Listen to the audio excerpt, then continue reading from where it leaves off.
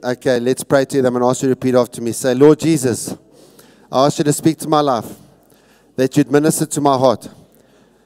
I ask that your word would be revealed to me today in a way that I can declare it and understand it and do it so that, I, so that it changes my life. Pray this in Jesus' name. Amen. We're finishing the series today, Church, you are the center of the universe. And today's sermon is entitled God's Call is Irrevocable. So the fact that God calls you, it cannot be taken back, it cannot be cancelled. But I wanted to just quickly recap from two weeks ago now. How many of you heard uh, Pastor Vicky's message last week? Amen. Amen. The woman caught in adultery, Ezekiel, and she somehow brought in the whole Bible in one sermon, and it made sense. Can we give her a big round of applause? That was awesome. All right. To use half the Bible and it makes sense. wow. Tell person next to say, wow. But anyway, from two weeks ago, Ephesians chapter 1, verse 18 to 23, and I very briefly want to recap. You can get it on, on Active TV. You can get the sermon. But, uh, you know, if you weren't just, I'd encourage you to listen. But this is, this is the church. And Paul said in Ephesians 1, starting at verse 18, I pray that the eyes of your heart may be enlightened, in order that you may know the hope to which he has called you, the riches of his glorious inheritance in his holy people. And so, what I want you to understand, you are the inheritance of the richest person in the universe. And that is the Lord God Almighty. Everything that He owns is yours when you've accepted Jesus Christ as your Lord and Savior. And then He goes on and He says this. and his incomparably great power for us who believe. So, God has made a, a, power available to us that is incomparable. You can't compare it. That power is the same mighty strength he exerted when he raised Christ from the dead and seated him at his right hand in the heavenly realms, far above all rule or authority and power and dominion and every name that is invoked, not only in the present age, but also the one to come. So Jesus is the authority above all authorities in this, the whole of this age, which means the past, the present, and the future. The past, the present, and the future is all one age. We're all a part of that age.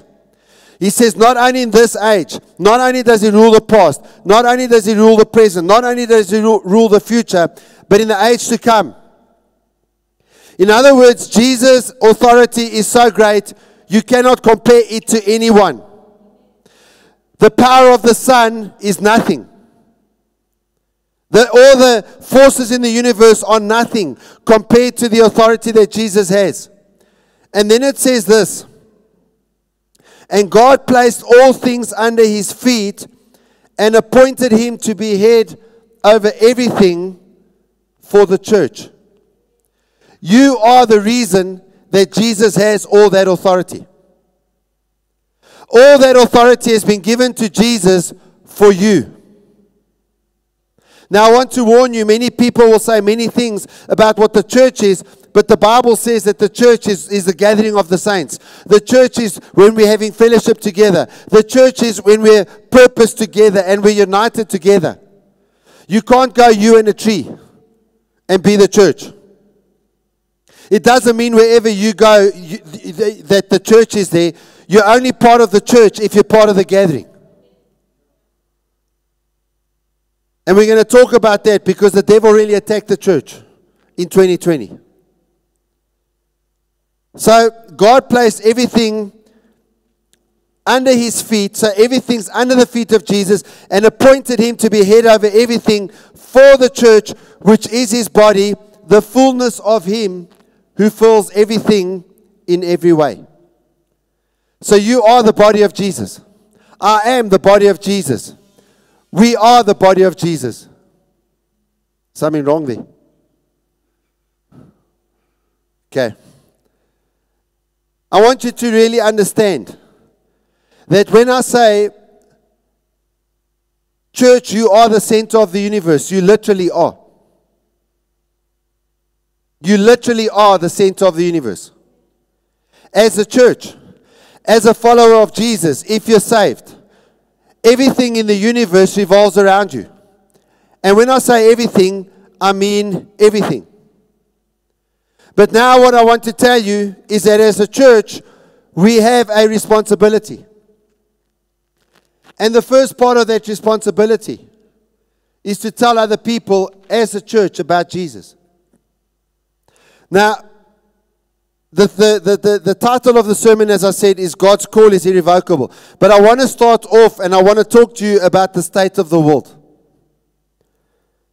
In the next series we're going into, we're going to be looking at Romans 12. We're going to be looking at the state of the world. Because the, the reality is that most people do not understand the state of the world and they do not understand what is going on and why what is going on is going on.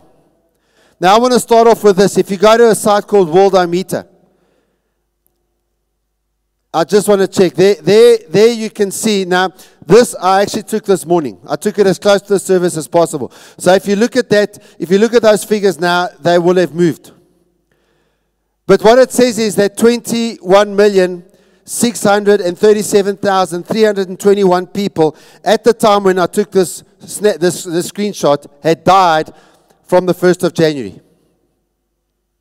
So in 2021, up until today, 21 million six hundred thirty-seven thousand three hundred twenty-one had died. This number is out of date. It's more than that now. So already, when you look at that, that should tell you that um, maybe we need to take the gospel seriously.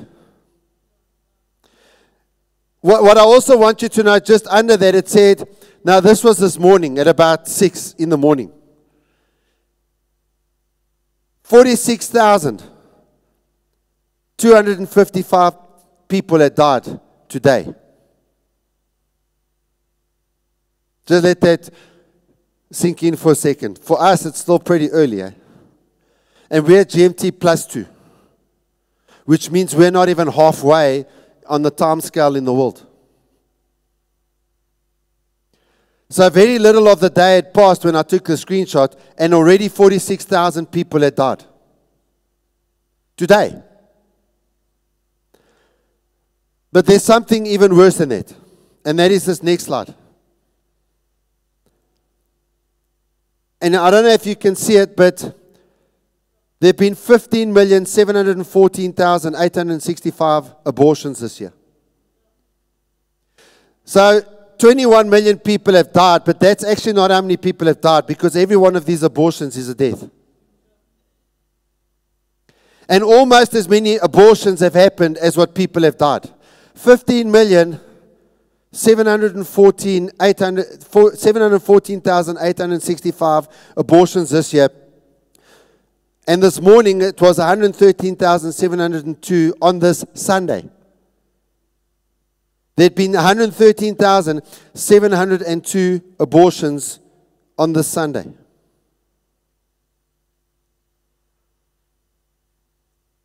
Now, I, I, I want you to look at the 40, 43, 43 million people have been infected with HIV. 618,000 have died because of AIDS. 3 million have died because of cancer. 145,000 have died because of malaria. Uh, 1.8 million, for those of you who smoke, 1.8 million of you died this, so far this year. Just thought I'd throw that one in there. All right, for those of you who drink, 920,060 deaths caused by alcohol this year. And for those of you thinking of committing suicide, well, 394,477 have already committed suicide this year. Now, look at those figures, and then 15 million people died before they were even born. And I want you to think about the state of the world and why it's in such a mess. Because let me tell you something, and if there's any woman here that's had an abortion, the blood of Jesus is available to you, and you need to speak to us because you, you, you've already paid a price inside of yourself over having the abortion because you know that was your child. But, but what I want you to really think about is almost as many people are being killed in abortions as what are dying every single day, and yet we freak out when someone speaks to us funny. I want you to think just for a second about how messed up the world is. That we kill almost as many people and it's not even called murder as people who die. And I want you to realize that every single thing that you know from the world is false. You live in a fake world, and in the next few weeks, we're going to be looking at that. So I'm not going to go into that too much today. We live in a fake world where everything is deception. Everything is deception. And something that I've been saying for many years to people everything you know before you know the Bible is wrong. Everything. I don't care what subject you're talking about, it's wrong. Unless you know Jesus, you do not know the truth. Now, Romans chapter 11, verse 25 to 36. I want to read this to you quick and then we're going to go through it. Paul says, I do not want you to be ignorant of this uh, mystery, brothers and sisters, so that you may not be conceited. Israel has experienced a hardening in part until the full member of Gentiles has come in. And in this way, Israel will be saved. As it is written, the deliverer will come from Zion, and he will turn godlessness away from Jacob. So, in other words, he's saying, we're living in an age where the gospel has come to the Gentiles, where the Gentiles can be grafted into the, the, the, the, the, the group that are called the people of God. So, so that's where we're at and Israel's hearts have been hardened, and anyone that turns against God, God hardens their heart. But he says it's only going to happen till enough of us Gentiles who were not born as Jews get saved. Then we're going to make them jealous, and they're going to come back. And then he goes on and he says this in verse 27 And this is my covenant with them when I take away their sins. So we have a covenant where God takes away your sins. It doesn't matter what your sin is. It doesn't matter what you've messed up. It doesn't matter what you've broken. The blood of Jesus takes away your sins. This is the good news of the gospel. And then in verse 28 he says, As far as the gospel is concerned, they are enemies for your sake, but as far as election is concerned, they are loved on account of the patriarchs. The, in other words, he's saying the people of Israel, the Jews, are loved because of guys like Abraham. And then he says, For God's gifts and his call are irrevocable. You know, you got those gifts, you got them from God. And he will not revoke those gifts from you until you die. He will not revoke those gifts from you.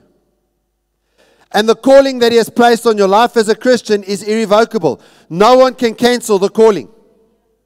It is permanent. It is there forever. And then it says this just as you were at one time disobedient to God and have now received mercy as a result of their disobedience, so they too have now become disobedient in order that they too might, may now receive mercy as a result of God's mercy to you. In other words, we got this faith from the Jews and they're going to get it from us, and so none of us can brag. You see, you can't brag when you're before God. And then he goes on and he says, Oh, the depth of the riches of wisdom and knowledge of God, how unsearchable his judgment and his paths beyond tracing out. Who has known the mind of the Lord? And I want you to listen to what this says. Who has known the mind of God? Who knows the mind of God? Who knows what God thinks? Now listen to what he says. Who has known the mind of the Lord or has been his counselor? How often have you tried to counsel God? You've tried to counsel God in terms of what He should be doing in your life. Maybe you've been angry with God because God hasn't done in your life what you wanted God to do in your life. And then it says, Who has ever given to God that God should repay them? Now, the answer is no one. You, you, you can never give to God. You can never match what God has given you. So when you when you when you demanding stuff from God, remember he owes you nothing. And then it says, For from him and through him and for him are all things. To him be the glory forever and ever. Now, this is what I want you to realize. You can know the mind of God through Jesus. And right now in the church, This is the big fight because things have come about in the world and the world has changed in such a way that you better realize that you can know the mind of God because if you don't know the mind of God, you're not going to be able to handle what the world's going to throw at you. Now, here's a big deal because we don't think like this. We don't process like this. But the reality is, God's calling can never be removed from you. No single person can take the calling of God, the calling that God has on your life, away from you. And I don't care what sin you've committed, that calling remains. It's available to you. The calling of God is yours if you want it. The only way that you can lose the call of God on your life is if you take it and you throw it away. And many Christians take the call that God has on their life and they take it and they throw it away. You know, like a rugby pass. Only you can throw your calling away. No one else can touch it. In fact, I believe with all my heart that if you are following the calling of God until the purpose of God is fulfilled in your life, no one will be able to even kill you. Until God has finished. The moment God has finished, then He'll call you home. But if you are living and you know that you're living according to the will of God, if you die, you know it's because He's decided his purpose for your life, you've done what He wanted you to do. And all the rewards that He wants to give you when you get to heaven, they're already earned, basically.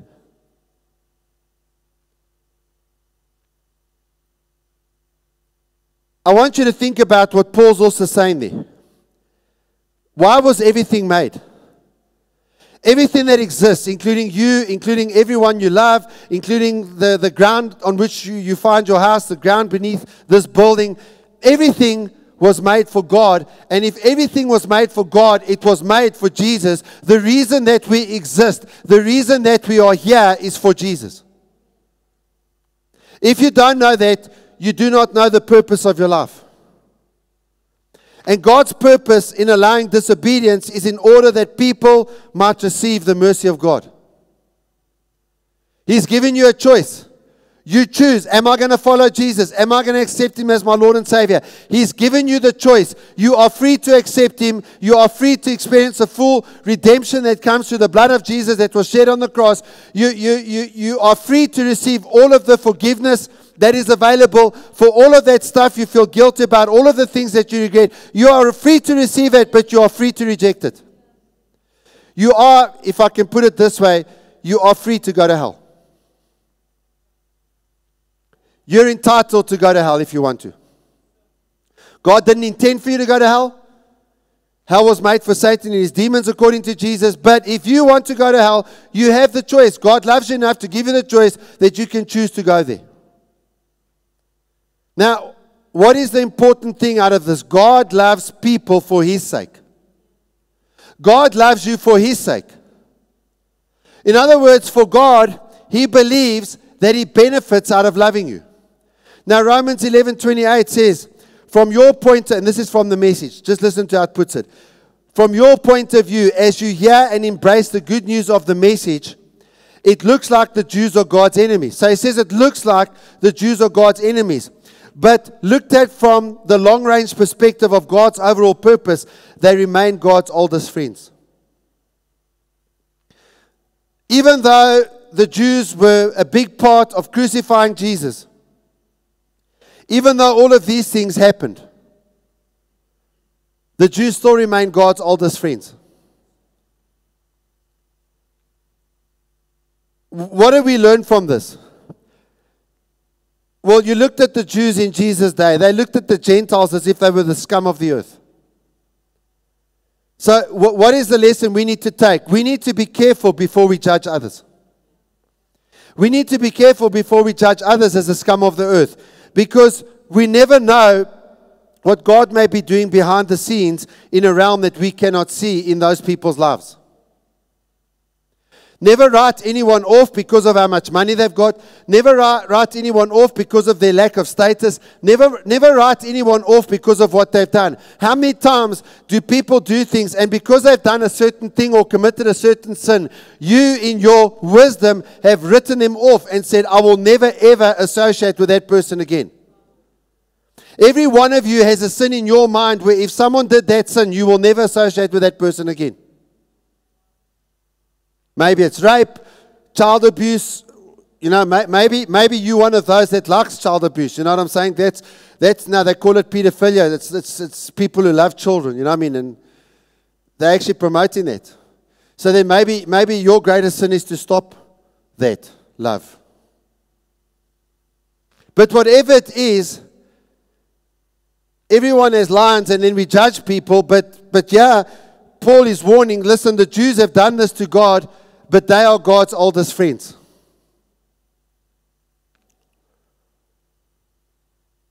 God is not a man that he would give up on people. You will give up on people. I will give up on people. But God never gives up on anyone. I want you to think about the lengths that he went through for Jesus to die on the cross for our sins. That's the lengths that he went through for us to be saved. And we need to be like him. He wants us to be like him, never giving up on people. It takes a tremendous amount of love to stay faithful to someone who's rejecting us. And I don't mean running after people and making an idiot of yourself. I'm not talking of that's not love. What, what I'm talking about is the fact that the, your door's always open. They know that your door's always open. They know that no matter what they've done to you, they can always come back. God is able to keep loving those that reject Him, and, and He actually does that. Every one of us has rejected God. In our lives, we've all taken turns to reject God. Every single one of us. There isn't a single one of us here that is innocent of that. Every sin that we committed, we rejected God. And relating to people, God is always looking at things from a long range perspective. He's looking at me from a long range perspective. He's looking at you from a long range perspective. He's looking at the active church from a long, from a long range uh, perspective. When you look at things from a long range perspective, you come up with different views and, and different judgments. And here's the good news about this not even God will take the calling He placed on your life back. Not even God will take that calling back. And in Romans 11, verse 29, it says, For God's gifts and his call are irrevocable. If you look at the message, it says, God's gifts and God's call are under full warranty. How many of you, when you buy something expensive, you want to know what is the warranty? The first thing people look for when they buy a car, what is the warranty? The first thing people uh, look at when they buy an expensive TV or a nice fridge or something like that, what is the warranty? God's gifts and His call are under full warranty, never cancelled, never rescinded. How long does this warranty last? Well, as long as you are alive. It's a lifetime warranty. Tell the person next to you, say, I want that lifetime warranty. Tell them, I'm, I'm excited about the lifetime warranty. If you're married, you can tell your spouse, I have a lifetime warranty on my life. Doesn't matter if you think I'm the worst person on the face of the planet, I have a lifetime warranty from Jesus. Amen. Come on, can we give the Lord Jesus a big round of applause for that? Amen. And the gifts of God can never be taken away from you. The call of God can never be taken away from you. It's irrevocable. That means it cannot be cancelled. There's no cancel culture in heaven. There's no cancel culture in heaven.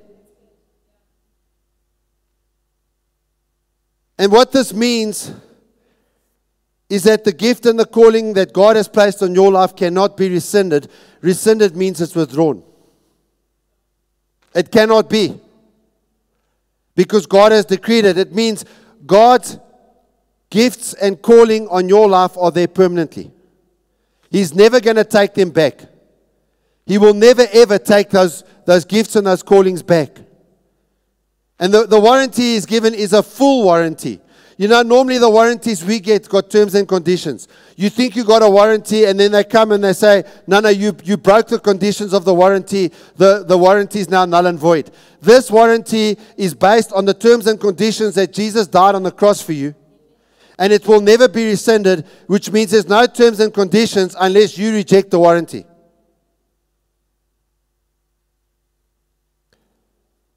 What this means is it'll work or the, or the Lord will give you your money back.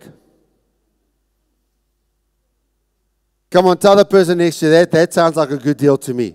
It'll work or the Lord will give you your money back. That's what a warranty means. It'll work. You're not getting your money back because it was Jesus' money that the gift was paid for. Amen. Now, God is waiting to make, to make you the child in His glorious presence.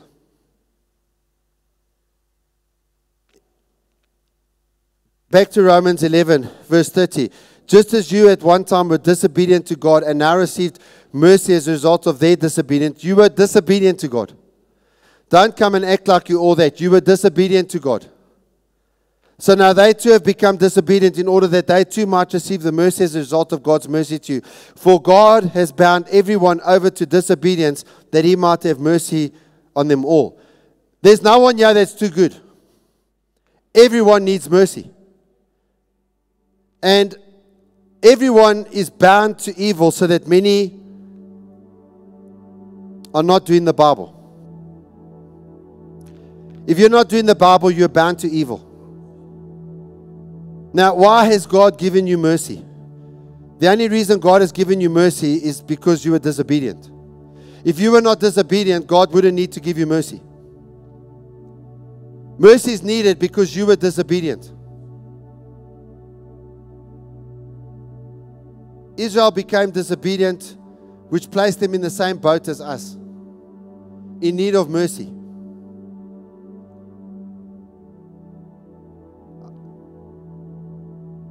Who can receive mercy? Every single person that was disobedient. So if you've been disobedient, you can receive mercy. Now, God gives us this mercy in 1 John chapter 3, verse 1 to 7. And it says there,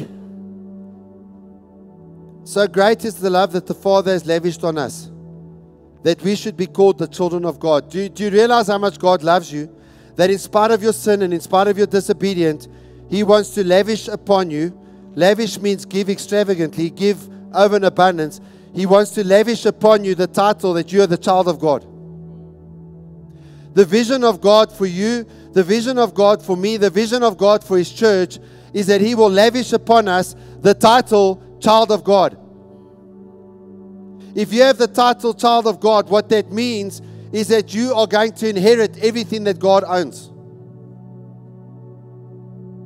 It means that you're put on an equal footing in a way with Jesus.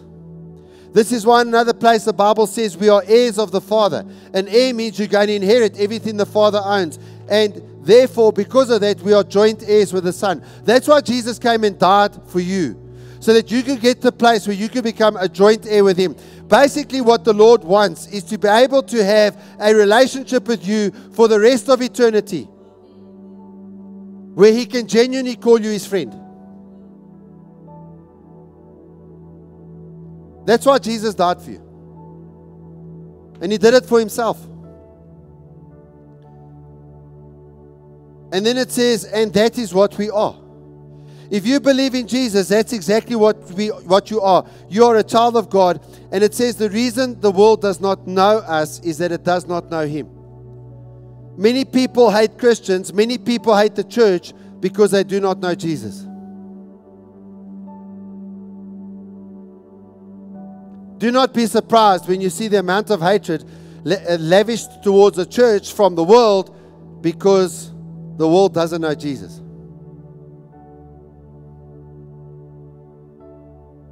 Verse 2 says, Dear friends, now that we are children of God, and what we will be has not yet been made known. So, if the first thing there is, we are children of God, but what we're going to be one day in glory has not yet been made known. We're not yet all that God's going to make us in the future through our faith. We're, we're not living for now. We're living for eternity. We're living for the forever time. We're living for the time when God is going to re- reveal in us all of His glory. He's going to reveal all of His glory to all of creation through us. We're not there yet.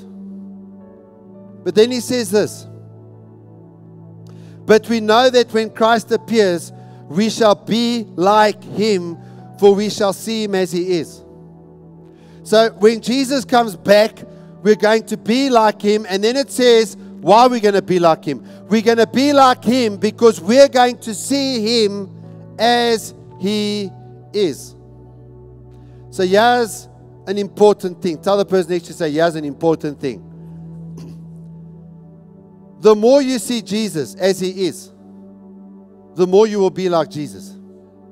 When you see Jesus as he is, Jesus is so awesome. Jesus is so incredible. Jesus is someone that is indescribable. He is more exciting than, than the greatest celebrity that you can go after. When you see Jesus as he really is, you will be like him. If you're not like Jesus, there's something wrong with your spiritual vision. You do not see Jesus. The greatest thing that you have to know today, as you're sitting here in this service, is that at the end of the day, you need to, to see Jesus if you want to become like Jesus. You need to see him for who he is. You need to see him for how much he loves you. You, you need to see him for how much he suffered for you on the cross and how bad your sin actually was. That Jesus had to go through all of those gruesome things for you.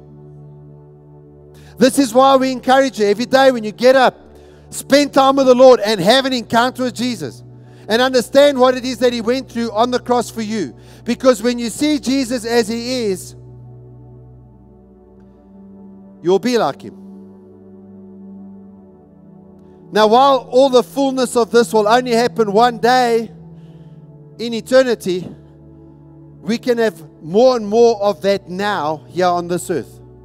We can become more and more like Jesus every single day on this earth. And let me tell you something. For those of you, maybe there's one or two here that think it's boring to be like Jesus. You know nothing. You know nothing. The stuff of this world, the, the most exciting things in this world are boring compared to Jesus. There is nothing like Jesus. Nothing even comes close. And then it says in verse 3 all who have this hope in Him, this hope that one day we're going to be just like Jesus, one day we're going to look exactly like Him. This hope, that, that's hope. All who have this hope in Him, because He's the one that does it. So if we believe this, we have this hope in Jesus. All who have in, this hope in Him purify themselves just as He is pure. How do you become pure? When you really have that hope. When you really, really, really rest everything that you know on that hope that one day He's going to make you exactly like Him.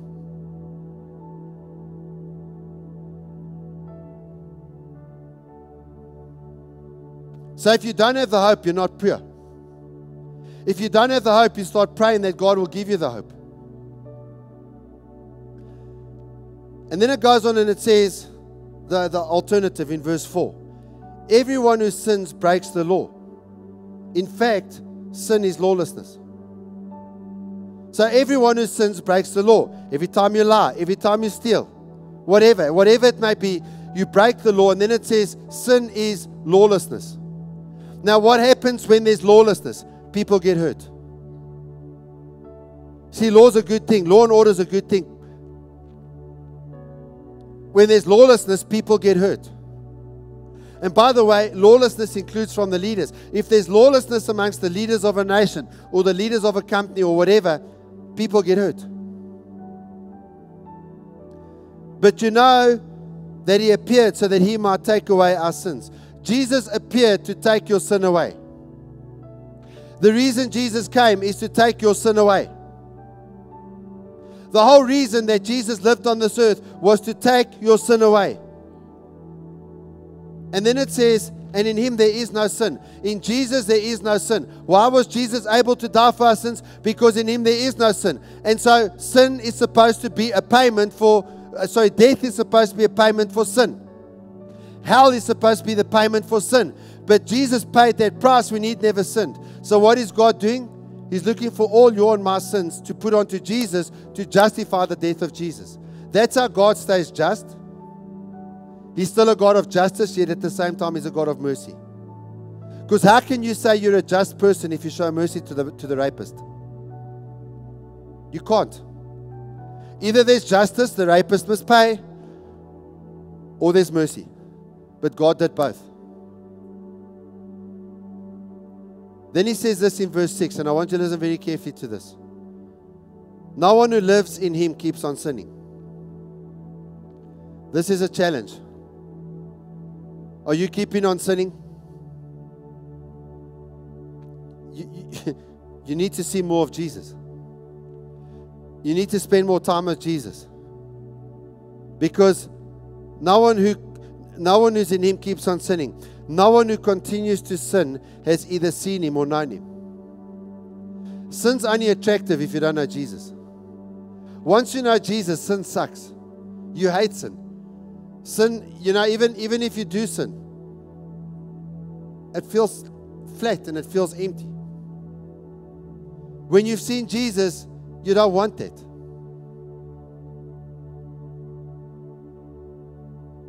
Dear children, do not let anyone lead you astray.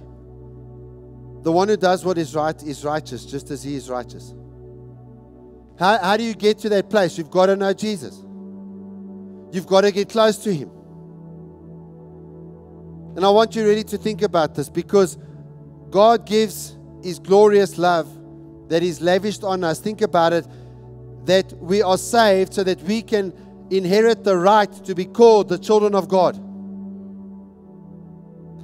And when you become someone who can be called the child of God, yes, the devil hates you. He hates your guts. Why? Because he hates Jesus. But Jesus has overcome the devil. The devil can't touch you where Jesus won't allow him. I want to tell you something about the devil. The devil can only hurt you if you open the door to him if you keep looking at Jesus and if you sing Jesus, that door remains closed.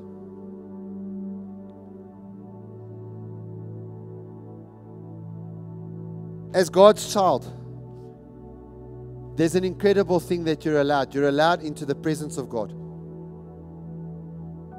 You're allowed to walk right into his throne room at any time. And all you need to do is when you when you walk into the throne room, it's when you're praying and you pray in Jesus' name. The moment you pray in Jesus' name, you can walk into the throne room of God anytime you want. Anytime. About anything. Even if what you're asking for is nonsense.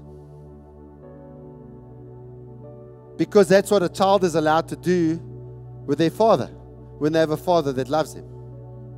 They come into that room anytime and ask daddy for anything. Why? Because daddy loves them and they abuse that love. When last did you abuse the love of God for you?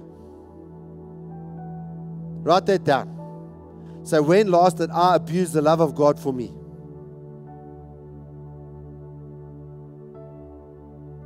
When we believe this promise, we build our lives on the hope of Jesus reappearing,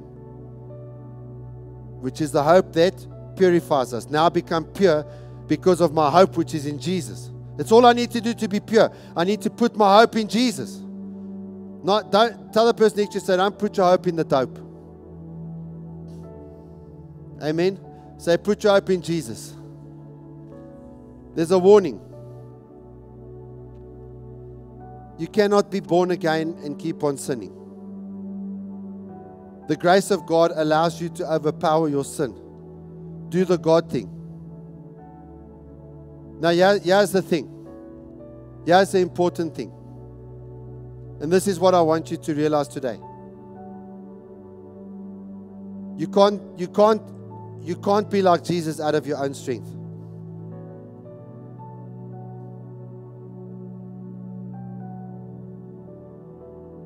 You've got to do it in His strength. You've got to learn to walk in the strength of God. And I want to just mention what it means when you've repented.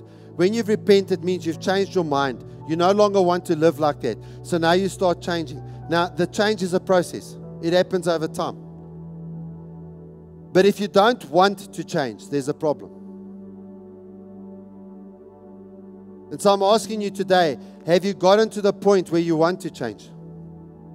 If you've gotten to the point where you want to change, all you have to start learning to do is to learn how to walk in the strength of God, the supernatural strength of God, because it isn't it isn't in your power to be right. It isn't in your power to be perfect. But here's the thing God has the strength available that you will change. You will become what God created you to be. And I'm going to ask you all right now to close your eyes. And I want you to think about where you stand with the Lord. If you haven't even decided that you want to change, then it means you haven't repented because repent means you want to change. Repent means that everything inside of you wants to change.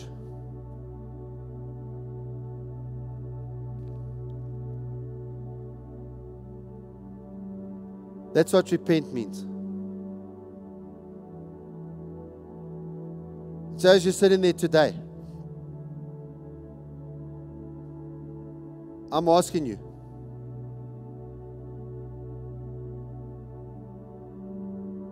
What have you done with the Lord?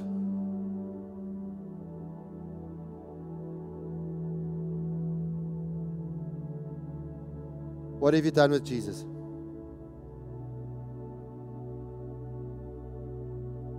The place where we're at right now is an altar before Almighty God. God wants to touch you. But in order for that to become real for you, you've got to receive Jesus. And what does the Bible say if you receive Jesus? If you receive Jesus as your Lord and your Savior, then what happens is that you end up in a place whereby He gives you the Holy Spirit.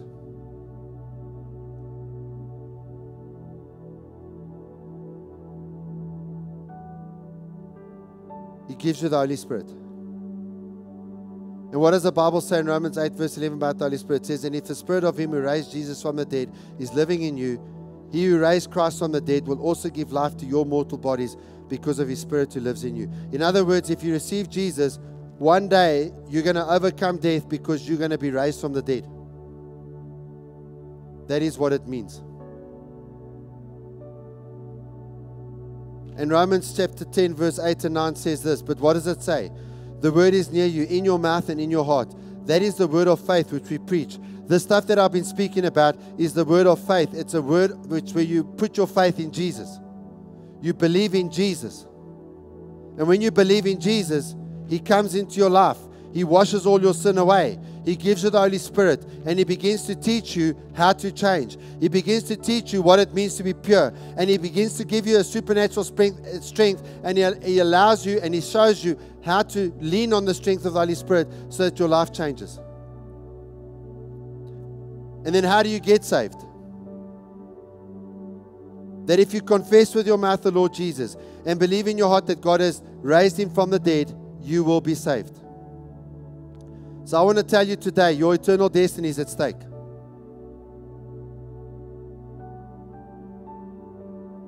Your eternal destiny is at stake. You're going to end up somewhere for eternity. And so maybe you're sitting here and you're struggling. You're saying, No, no, I'm not ready. Maybe, maybe I'm going to make a commitment for Jesus later. I'm going to say to you, No that you come right now. I'm going to ask the worship team to come up and I'm going to ask you all to stand. And I want you to think about where you stand with Jesus right now. Everyone stand. And I want you to think about where you stand with Jesus right now. And I want you to realize this place here in front here is an altar. Right now, it's an altar. And I want you just to close your eyes and I want you to picture Jesus standing in front of you because this altar makes everything righteous. This altar makes everything pure. This altar makes everything sanctified. It is Jesus, it is what He did for you on the cross. Don't think that you're going to have a more effective prayer time later because now is the time. And if you come forward, then, then what you're saying to God is you're saying, Lord, now is my time. Lord, I can't wait. I can't wait until later. Lord, I want to commit to you right now. Lord, I want to commit my life completely to you right now. Lord, I can't wait until I get home. Lord, because if I wait until I get home, I don't know if I'm going to make it. Lord, I want to do it now because I want to know that from today, when I walk out of this place, that I'm going to be walking with you. And I want to know that I'm walking with you because I don't want to live eternity far from you. I want to live eternity with you. I want to live close to you from this day on. I want to live close to you because I want to know that when the time comes for me to die, that it won't affect me. Because I'll know that you're right there with me. And so I want to invite you right now, as the worship team sings. If you need to make a commitment to Jesus for the first time, maybe you've never committed to Him before, or if you need to recommit your life to Jesus, maybe you were committed to Him and you're listening to a passage from John and it, it tells you what it means to be saved. It tells you that if you've been enjoying your sin, there's a problem.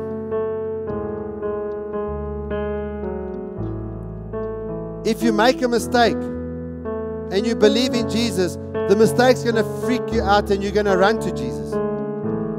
He's the first place you're going to run to. Before anyone else even knows, you're going to run to Him because you don't want that. You don't want to do that. If you're enjoying your sin, I'm going to encourage you to come forward. Because that is a sign that you need to recommit your life to Jesus. And you need to change your mind about this stuff. And I know there are people here today I know it, I sense it in my spirit that there are people here today and you need to make this commitment before the Lord. Either a first time commitment or recommitment to Jesus here today because He's been speaking to you in the service. And what I want to tell you is that the speaking that He's been doing is the Holy Spirit that has been speaking the Word of God directly to you. God Himself has been speaking to you. And so don't wait another day because one or two of you, this might be the last opportunity you'll ever have to give your life to Jesus. Because the Bible says that Satan is controlling the world and he's controlling the minds of the people that are in the world. And God has had to peel away all of that deception in order for the message of His truth to get through to you today. And God might be saying to you, if you don't give your life today, you'll never have this opportunity again. So make today the day that you do it. And so as we sing this song, just come forward. Those of you needing to, re- to, to commit or, or recommit their life to Jesus, just come forward right now. We want to pray with you. And so start coming forward right now in Jesus' name. Sprinkled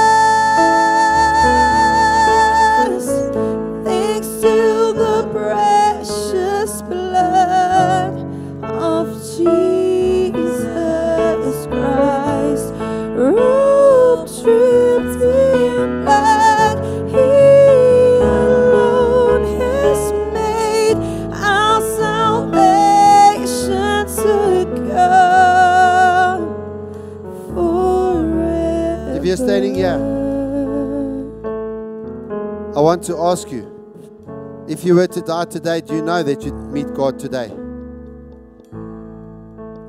Or do you not know that you'd be right with God? If, if you don't know, I'm going to ask you to come forward. Maybe you're standing here today and there is sin that is just overwhelming you. You're just crushed with guilt and you think you could never be right with the Lord. There is no sin that you could have committed from which you cannot be saved by the blood of Jesus. The price for the blood of Jesus is far greater than the price for your sin. You cannot out sin the blood of Jesus. As I said, I just really feel this strong on my heart right now. If the Lord has been speaking to you and you're thinking you'll do this later, you need to come forward right now. You haven't seen it before. Because the enemy has closed your mind and God is saying to you. And I really believe there's someone here, God is speaking to you, He's been speaking to you. I just feel it very strongly that if you don't come, you'll never have this opportunity again. Today is the day of your salvation. And if you if you're standing here and you feel like you know what your life doesn't matter, Jesus died for you. Your life matters so much that He died on the cross for you. Your life matters so much that blood was shed from His feet for you, for your purpose, for the reason why you're alive.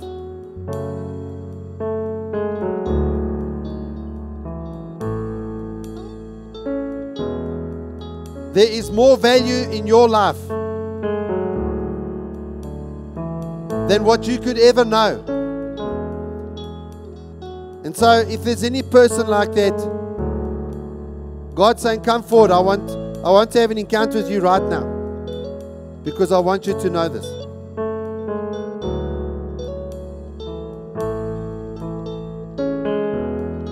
And I want you just to think about the words of this song that we sang earlier, which they're saying now. Sprinkled with your blood. We've been offered mercy. Your unconditional love hits me like a flood. Through the blood of Jesus. So, one last time, if there's anyone else, just come forward now. And just to mention anyone that's watching online, please send an email to info at theactivechurch.org. That's info at theactivechurch.org. If you're making this decision right now, it's important that you get to us. We'll contact you because we never make this decision alone. We make it in public. And so, those of you that have come forward, I'm going to ask everyone else just to raise your hands towards the people that have come forward. I'm going to ask you to place your right hand on your heart right now. And I want you to see Jesus standing before you right now. He died for you on the cross. I want you to see Him pouring out every drop of His blood for you. Every single drop. That's how much He loved you. That's how much He loves you even today. And the Bible says that this Jesus that you're looking at in front of you right now is the same Jesus yesterday, today, and forever. He hasn't changed. His love for you hasn't changed. And the same Jesus who died for you over 2,000 years ago on the cross, His blood is washing away your sin right now by your act of faith. I don't care what you've done, it's washing it away. And I'm asking God to give you the faith inside of you by the Holy Spirit right now to believe that, to see that. The blood that Jesus shed was the price that He paid to wash all your sin away. And so we're all going to pray together with you, but you mean this prayer, and the Lord's going to do something incredible in your life. Amen. Let's just pray together. Say, Lord Jesus, today I recognize that I'm a sinner. I repent of everything that I've done wrong. I renounce my life of sin, and I accept your sacrifice. And I know that it was the price that you paid for my redemption. And today, Lord, I ask that the blood of your wounded body would wash me of all rebellion and all my sin. I pray that you'd set me free of any sickness and any pain. As I accept, Lord, that my debt has been paid, there is no outstanding balance. You paid everything for me on the cross of Calvary, and I accept it by your blood. I am justified, and that by this blood you see me as I've never sinned, and that by your blood I am sanctified, and you have chosen me to serve you. And Lord, I'm willing to serve you. And so today, I open the door of my heart and I invite you to come in as my Lord and my Savior.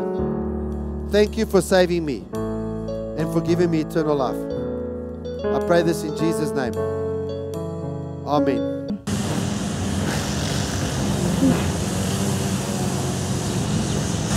Good morning and welcome to Are You Up Babes. I'm really very honored this morning to be having Melanie Enslin, who is my mother-in-law, with us. And I know many of you know her and cherish her. She is such an incredible person and it is my privilege and honor to have her on Are You Up Babes. And this morning we're going to be looking at being a house goddess. Yes, a house goddess. And you know, as women, we have so many responsibilities um, as wives um, in our home, keeping up our home, being good moms, um, work, actually having work on the forefront, ministry. And how do we win in all these tasks? So this morning, my mom-in-law is going to give us really valuable, godly advice on how we can win at being a house goddess.